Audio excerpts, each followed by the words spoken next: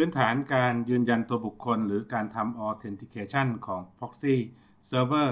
โดยอาศัย ST PassWD การทำ Basic Authentication ในตัว Squid Proxy นะครับ เราจะต้องติดตั้งแพ็กเกจเพิ่มก็คือ httpd tools นะครับ หลังจากที่เราติดตั้งแพ็กเกจแล้วให้เราเข้าไป ปรับปรุงแก้ไข Squid Proxy Configuration อีกครั้งหนึ่ง ให้เราเลื่อนลงมานะครับ อยู่ตรงที่ในเซสชันแรกนะครับ ก็คือการนิยาม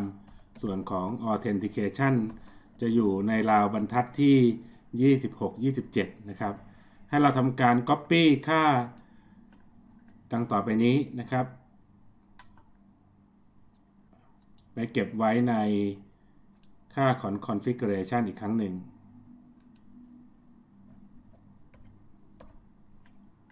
ให้อยู่ใน insert mode ใน vi นะครับ หลังจากเรา copy เรียบร้อยนะครับ จะเห็นว่ามีการใช้งานตัว basic ns ncsa ขีด or10 นะครับ แล้วก็จะต้องสร้างไฟล์ที่ชื่อว่า .htpasswd ไว้ในโฟลเดอร์ของตัว script แล้วก็ ทำการสร้างไฟล์ ไฟล์นี้จะเปรียบเสมือน Database ที่เก็บ username password นะครับ ให้ใช้คำสั่ง update db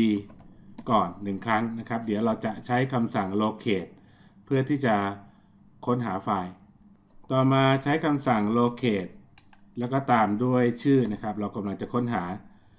ไฟล์นี้จะเป็นไฟล์ที่อยู่ในตัว binary ภายใต้โฟลเดอร์ squid นะครับ เพราะว่า squid จะเป็นคน ใช้งานคำสั่งนี้ ต่อมาเป็นการสร้างไฟล์ที่อยู่ที่ etc/squid นะครับ ก็คือไฟล์นี้ ไฟล์นี้นะครับเป็นไฟล์ที่เปรียบเสมือน Database ที่เก็บ username password ของ user ที่จะเข้าใช้งาน script สามารถสร้างได้ด้วยคำสั่ง ht passwd ตามด้วย option ลบ c เป็นการ create แล้วก็ตามด้วยตัวชื่อไฟล์ที่เราต้องการสร้าง ไฟล์นี้ยังไม่มีอยู่นะครับ passwd แล้วก็ตามด้วย user ที่เราต้องการที่จะอนุญาต ยกตัวอย่างเช่น ผมอนุญาตให้ทอม ผมก็ใส่ password ทอมลงไป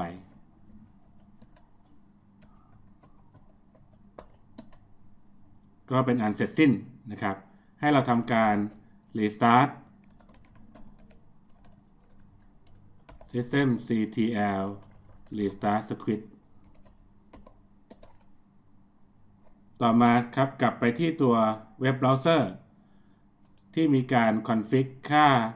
ให้ใช้งานผ่านตัว proxy เราจะเห็นว่ามีการถามส่วนของ authentication เราก็ใส่ user ชื่อ tom password ที่เราต้องการใส่ลงไป enter เราก็จะสามารถใช้งานได้ตามปกติ แต่ต้องมีการ authent ในส่วนของตัว username password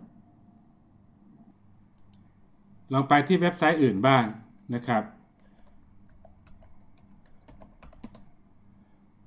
ก็จะเห็นว่าเป็นการใช้งานตามปกติหลังจากที่เราออเทนเรียบร้อยนะครับ แต่เราต้องออเทนก่อนหนึ่งครั้ง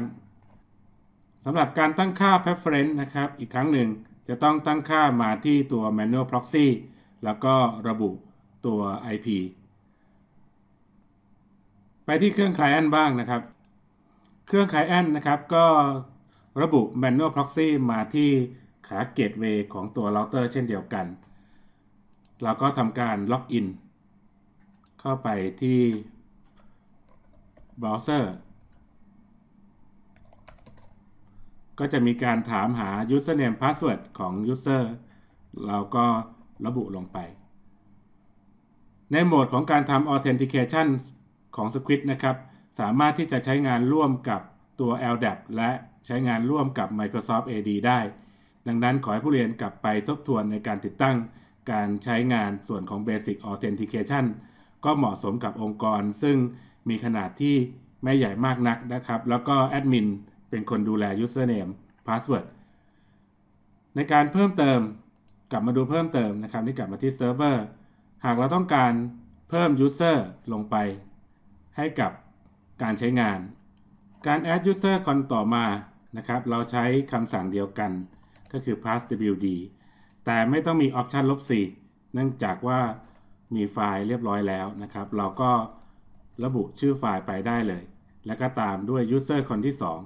2 ใส่ password ลงไป ก็เป็นการ add user ลงไปนะครับ หลังจากนั้น ให้เราไปเปิดเว็บไซต์อีกครั้งหนึ่ง